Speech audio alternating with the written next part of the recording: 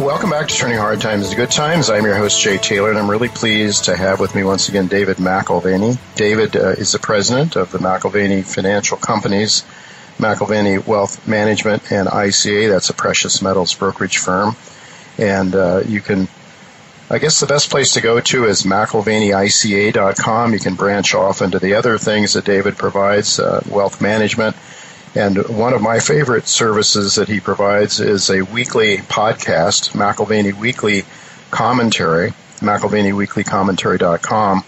Uh, after the markets close at the end of the week, and it's a, a look at the uh, of all the well, not everything that took place, of course, but the major highlights in the markets, uh, geopolitically, uh, politically, nationally, and uh, so obviously uh, David uh, and his host have had a lot to talk about recently, and I think a lot of very informational, a lot of very important information that you can obtain there. And David's wisdom and years of market experience uh, could be very helpful to you. So I suggest you go there. But I would also, more than anything, like to suggest you go to davidmcalvany.com to learn more about the personal side of David. And I, a, I, I gained a great deal of insight into the multidimensional side of David reading his book, The International Legacy, a few years back not only uh, is uh, David uh, a very bright Oxford graduate, very articulate, as uh, those of you who have heard him before know.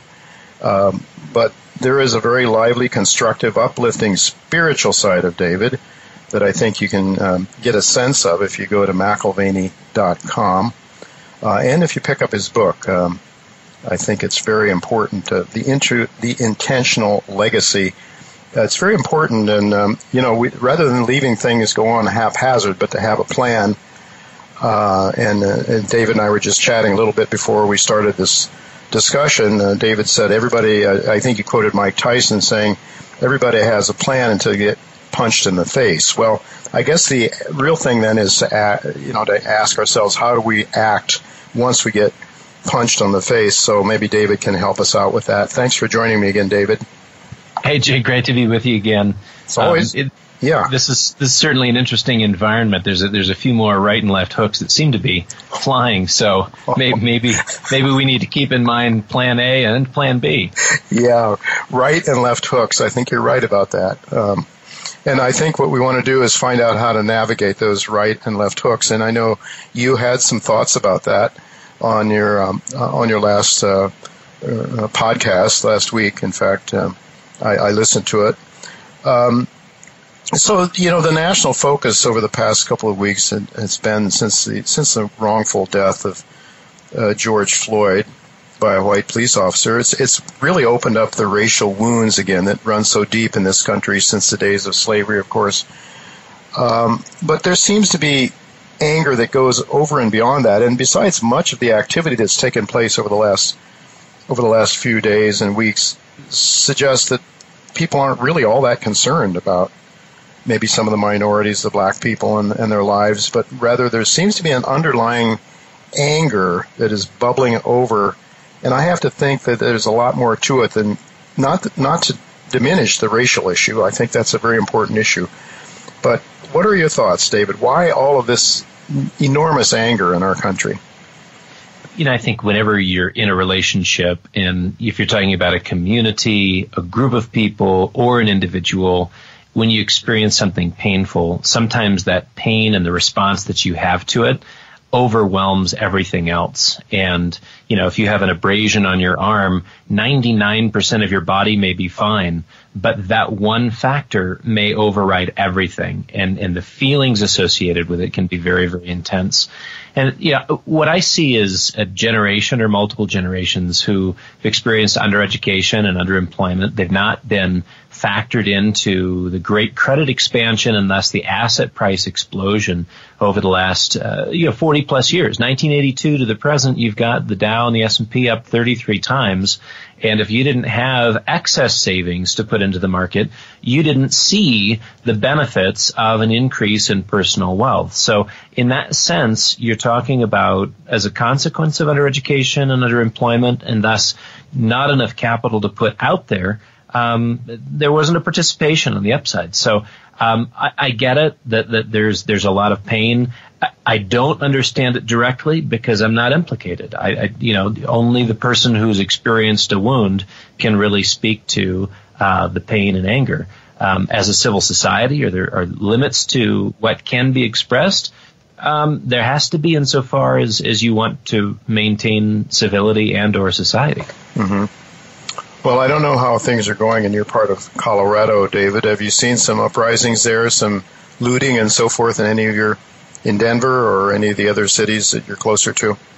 You know, we left Denver in '92, so we didn't have to deal with the jabs, the right and the left hooks. We're, we're now the only thing that you can do in terms of jabs is probably social media. We live in a small town in the mountains uh, by choice, and this was the foresight and wisdom of my father saying that perhaps in future days this decision could save lives. And you know, I, I look at the idea of of being in a strong town, in a strong community, and think this just makes sense. Would I want to be in a major city center today or living in in suburbia? No, I, th- I think at this point, if I was living there, I would be organizing a new Plan A. Uh, and you know, making a significant change. So I, I just, I think, I think we're living in a very interesting time and in places where you can know your neighbors, um, and, and, and band together, um, as, as friends, even if you don't see things or the world the same way, uh, there's just there's a there's a there's a difference to a small town community, in my opinion. Yeah, well, there's no doubt about it. I mean, uh, Teresa and I live here in in Queens, um, and not far away from a lot of the turmoil that's taken place. And uh, a, a, small group of Black Lives Matter, I think we're we're planning a march around our our uh, usually very peaceful park. And so it is, you know, it is certainly a thought. And but obviously, most people will still be living in cities.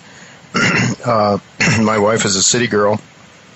She loves the, uh, she, you know, she loves the cultural things that Manhattan has to offer.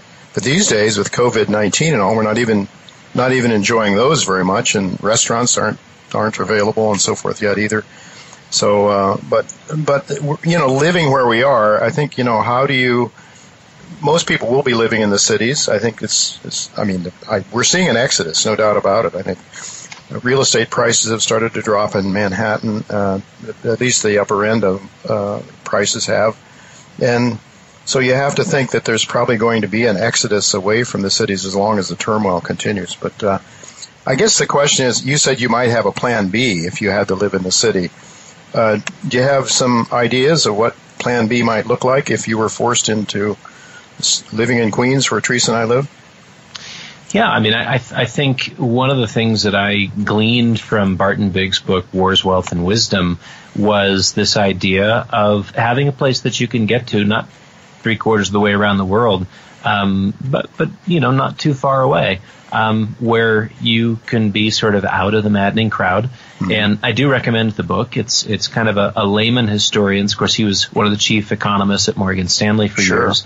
Uh, but you know, layman historians look at crisis and the after, aftermath for asset classes. Mm-hmm. And you know, at one point in the book, he says it's it's kind of nice if you can close the front gate. In other words, having a few acres. Mm-hmm. Um, and make sure you've got a few shotgun shells and enough wine to just kind of sit things out. and and I, you know, I mean, there's there's kind of a, a middle point between the, the the, the prepper idea of prepare for the end of the world and um, living a fairly normal life on your own terms, just with enough space to where you don't have to stand in lines with with, with angry and frustrated people. Mm-hmm. Um, and the, the beautiful thing about crisis is if you look at the last hundred years or two hundred years, every crisis uh, was defined by a very short period of time, whether it was days, weeks, months, or years. It didn't go on. None of them went on indefinitely. So. Mm-hmm it begins and it ends, and we're somewhere in between right now with this little crisis. Right. And the name of that book was Wars. What was it from Barton Biggs? It was Wars. Yeah, Wars, Wealth, and Wisdom. Uh-huh. Although you might switch those around, but Barton yeah. Biggs, if you search it, you'll be able to yeah, find it. Absolutely, absolutely. Well, I'm wondering what you and, and Doug Nolan and, and, the rest of your professionals there. Uh, in the wealth management team are looking how, how you're viewing these markets. I mean, it's just uh, I can't remember a yeah. time, and I'm a lot older than you, David. I'm closer to your father's age. I remember very well the 1960s as a young person, what was going on there with uh, cities burning across the country. It happened, um, and but this seems to be a stage beyond, perhaps. I, I hope not, but it, it, does seem to be very frightening. Uh, so, you know, I'm wondering wh- how you're seeing this economy emerging. I think I saw somewhere on the on the internet that you were looking for, or maybe you and Doug were were predicting something like 15,000 on the Dow, and as I look at it now, that that would be a, another 10,000 points lower. Uh, that certainly would uh, would uh, would unnerve a lot of those people at the upper end of the uh, income scale, wouldn't it? Sure, it would. And I think, you know, if, if you're looking for good sources of weekly conversation and data, um, if you go to our website, the wealth management website, mwealthm.com, we've got the credit bubble bulletin put out by Doug. We've got the hard asset insights, which is a one page summary uh, for, for hard asset investors. Um, and then my podcast. So great resources to, to tap into there. You know, when we look at the markets today, um, we see the same kind of um, set aside. There's really no concern with risk as long as you have the Federal Reserve backstopping all asset classes. So we're, we're back to levels that we saw in February. Um, if you're looking at sort of internal dynamics in the credit markets, if you're looking at credit default swap spreads, if you're looking at all kinds of things that would indicate to us you know, a real, again, level of complacency. And I think people would say, no, we're fully engaged. We just understand the implications of central bank money printing. Mm-hmm. And, and I would just have to say, if you understand the implications of central bank money printing, you may have peace and calm in the stock markets going forward. A, a bought price, not a real price. Um, mm-hmm. but a supported price by the central bank. Uh, to do that is going to cost you something in the credit markets and in the currency markets. So my my suspicion is that in 2020 and 2021 um, give us a transition to a new understanding of risk in the dollar market. And, you know, do I think that's going to be positive for gold and silver? I do. Do I think it's going to be positive for anything of a tangible nature? Uh, yeah, I, I do. Mm-hmm. And, and so that's, that's kind of where we would say, look, if they can buy stability, there is a cost to everything, and and the cost will show up uh, with with. with a lot of volatility in, in the monetary arena, in, in, in the in the currency arena. So, so your outlook, uh, yours and Doug's outlook for interest rates, uh, artificial as they are, would be continually low. And do you see any any prospects of that of market forces overwhelming the Fed anytime soon? Yeah, I think that's the real tug of war, Jays. You've got the, the market forces, which would over time argue that you've compromised on credit quality, and there's consequences to that. Uh, on the other hand, you have a free pass with the central bank's balance sheet being used to mop up any mess that's out there. We've seen that with the high grade market. We've seen that with the investment grade market. Uh, that I said high grade, I meant high yield. Mm-hmm. Um, high yield is is the new euphemism I'm sure you know for junk bonds. And you know when the government steps in, the Fed rather steps in and starts buying that paper. Um, is it any surprise to see you know uh, an, an unusual pricing dynamic? And that's what we have. If people are willing to play that game, that's fine. People are also willing to play that game right now. It looks like there's strong interest to buy a billion dollars worth of stock for, for Hertz. Hertz has already been declared bankrupt. They've been declared bankrupt. We know that the value, given that they've got $18 billion in debt, uh, the odds of the equity owner coming out with anything are, are, are next to nothing and yet people are willing to put an extra billion dollars in just to kind of day trade their way towards nirvana. This is a bad idea. This is a very bad idea. And ignoring risk, uh, you can do it for a period of time, but ultimately there is a piper to be paid, whether it's Hertz, whether it's the S&P 500, whether it's the Dow. And yeah, we, we think, you know, Dow 14, 15,000, what that reflects is a correction of the excesses in the market. Mm-hmm. Uh, will there be a concerted effort to keep it from getting there? Well, of course. Mm-hmm. Um, so maybe we don't.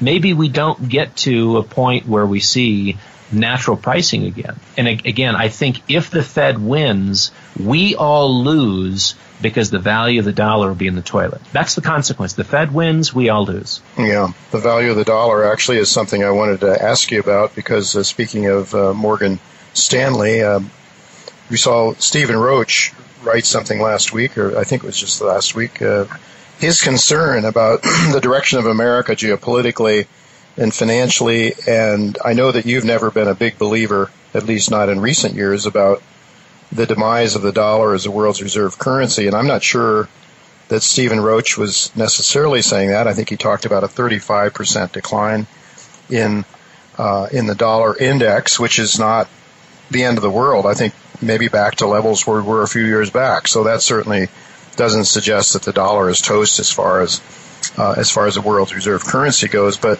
what are your thoughts about the dollar now? And certainly, uh, we know that gold maybe doesn't change in terms of its purchasing power over long periods of time, but relative to currencies that are de- debasing, gold rises, and that's the way you preserve your wealth. But but in terms of the geopolitics, because it seems to me, David, what's going on now, all of the things that are going on internally in America, China and other countries are not. They're very much aware of it. And they're using it for propaganda purposes or whatever. But just what are your your thoughts and maybe Doug's thoughts about about the dollar right now, where it stands? Yeah, I, you know, I think Stephen Roach is a really sharp guy, and he is looking at sort of losing um, uh, some some clout in the in the international universe, and obviously with, trade war with China, we, we've we've kind of diminished the role of petrodollar recycling. With a trade war with China, we're also diminishing the role of, of trade dollar uh, recycling with the Chinese. And so, in terms of external financing sources for our debt, uh, that's a real issue going forward. If we're just going to do the MMT thing and internally finance, uh, that's fine. You can try that. Um, it's been tried before, and, and, and the consequences were pretty dire. Um, you know, loss of purchasing power on a grand scale. And so, do do I think the dollar goes down significantly? I, th- I think that's very reasonable. Um, do we lose reserve currency status? Have to have a replacement to, to take its place. The euro can't do it.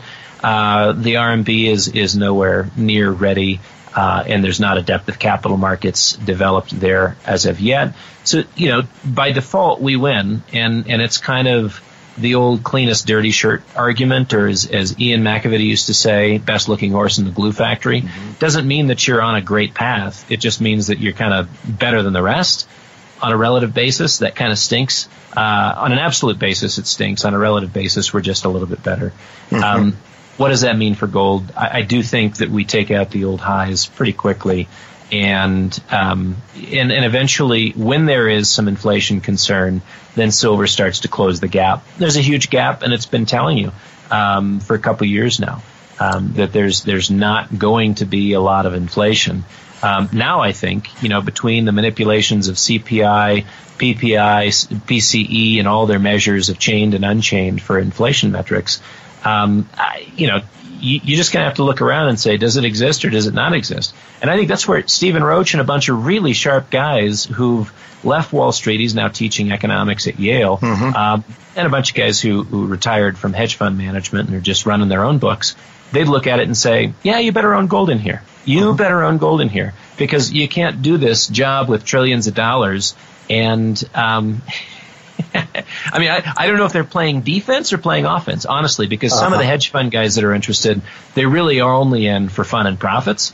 So I, I don't know what the best way of looking at it is. I tend to look at gold as insurance. Mm-hmm. Um, but I think the price increase could be considerable. Mm-hmm. Um, uh, give, given a 24 to 36 month time frame, it might even be a game changing for personal finances. Yeah, it, it really could be. I'm, I'm wondering, uh, you know, if we if we get so far the money it goes into the banking system to a great extent. I mean, we had the repo issues and the Fed, and as a matter of fact, I, I think I read last week that the Fed is actually upping the amount of money it's pumping into the system to keep the repo market from uh, from from collapsing again. And so you have money going into the banking system and again, as you said earlier, you know the masses of people are not really benefiting from it. They're not. They're not really uh, participating in the wealth that's being created. It's sort of redistribution of wealth to the people that are closest to the feeding trough.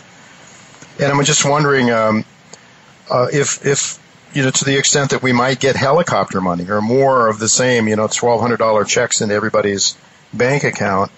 Uh, do you see that coming? And if so, do you think that could finally, at some point in time, start monetary velocity picking up? Because I think one of the things that's happening is, you know, people with money, uh, they're just they're pumping it into financial assets and getting richer and richer, and the people that are living one paycheck to the next, um, you know, they're they're having a really hard time now with all of the unemployment and everything, and so.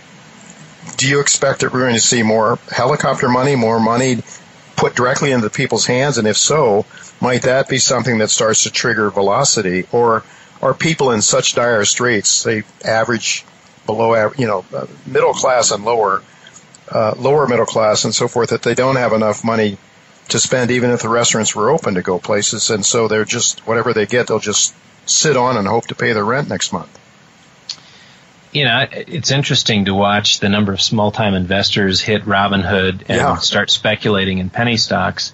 You know, that that's kind of you know, are people being cautious and saving money, you know, hoping that they can pay rent? Uh, there's a real speculative mood out there, and I don't quite get it um, because you know we, we, are somewhere between a major recession and a depression in terms mm-hmm. of the economic consequences of shutdown. And yeah, I do think you're right. Fiscal spending is going to be uh, the order of the day. Um, look at education. Look at education reform. They'll they'll they'll come out with and trump up, uh, no pun intended, all kinds of reasons to spend money. And you know, I, I think when when I think one of the latest latest tweets from Trump was again criticizing Jerome Powell and and uh, you know not doing enough and and whatnot. Um, and lo and behold, this week is, is one of those weeks where, it, it, I guess last week, pretty thin. Fed balance sheet grew 3.71 billion. So they basically turned off the tap uh, in terms of Fed asset monetization. Mm-hmm. Uh, those are the lowest numbers. That's the least amount of Fed asset monetization since February. So if if Trump and company don't get enough juice from the Fed, will they be putting political pressure on to spend more money, send out more checks, et cetera, et cetera?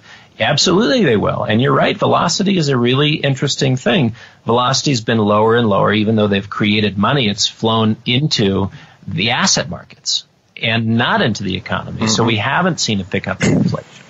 And now I think we are looking at uh, velocity uh, potentially picking up in a major way. Where velocity picks up and then goes into hyperdrive is when a psychological event occurs mm-hmm. where the average investor begins to anticipate inflation at higher levels and they change their investment and they change their uh, consumption patterns. And so that's where the Fed wants to play the game of, look, we're going to keep raising the inflation target, but oh, we fail, oh, we fail, oh, we fail. Hmm. To, to make sure that nobody gets panicked, nobody gets concerned about inflation, and all of a sudden treats bonds like the toxic paper they are. Um, so it's an interesting dance they've got. Mm-hmm. Create inflation, pretend like the problem is deflation. Mm-hmm. Uh, and of course, there's the potential for asset price deflation because of so much debt in the system. Um, but the short answer to your question is fiscal spending. You betcha. Another trillion between now and the year? Uh, that, that that's easy. Maybe two. Yeah, yeah. A, a, trillion here, a trillion there, and pretty soon becomes real money. I think it was uh, Senator Dirksen years ago that I think he used the B word instead of the Chi word to, to make that statement. But here we are. Um, well, I'm just wondering then, in terms of wealth management, you have uh, maybe you just talk a little bit about what wealth management does and and who that service is for. I think you're probably looking at people you know, upper middle, upper middle class people at least, people that ha- can put in a fair amount of money because otherwise it, it doesn't work. The economics don't work too well, probably. But what are you doing at wealth management and, and, you know, to what extent are you putting money into equities, into, you know, big name mainstream equities, and to what extent are you putting into gold stocks or gold bullion or, or what do you, how are you doing things? And I know that Doug Nolan plays a big role in, uh, in your thinking there, uh, at wealth management. Yeah, a couple of key people in the team. Um, Lila Murphy uh, does a lot of fundamental analysis for us on specific companies within the hard asset space. And for us, hard assets are made up of infrastructure, real estate, global natural resources, and precious metals. And so those four categories give us a broader definition and greater diversification. We'll want 25 to 40 names with a focus on income generation And, you know, our basic assumption is that there is a consequence to money printing and that real assets, things that have an intrinsic tangible value, that makes more sense. So infrastructure could be everything from you know, water utilities to cell phone towers. Real estate has got to be specialty niche. Uh, we're not interested in the, uh, remarkably, uh, not surprisingly, but the, our real estate uh, portfolio has done pretty well, uh, even even through this whole COVID thing because of its unique supply and demand dynamics what we do to, to mitigate risk, Jay, is is look at the, the macro environment, and, and Doug participates on that on a, on a on a biweekly basis when we do our calls to look at where there could be emergent weakness. And if necessary, we'll just start increasing cash positions. So, you know, for us, March was not a bad period of time. We had starting in September and with the changes in the repo market, concerns you mentioned earlier, um, we take those to heart and started raising cash. So we were already at a 40% cash position mm. by the time we had the sell off in March. And it, I just got to tell you, it's, it's nice not having to dig yourself out of a very deep hole. Yeah. You know, what money you lose in a, in a, in a, in a grand market sell off, um, very easy to put back when, when it's a shallow, shallow correction all things considered because of our cash positions. New accounts coming in, we were at an 80% cash position, so very cautious and able to put some of that money to work at much lower levels. So uh, uh, we're hands-on folks, and you know nothing's delegated out. Um, we've got a great research team, a great great trading team, and so to be able to put that together, um, it's I think it's compelling because it's not you know there's a lot of things we say no to, um, you know, just because frankly it's not in our wheelhouse. Not that it's not a great and interesting idea. We'll miss out on opportunities like Netflix or opportunities like Tesla if you think that's an opportunity. Uh-huh. Um, we want real things. We want real things that pay us to wait.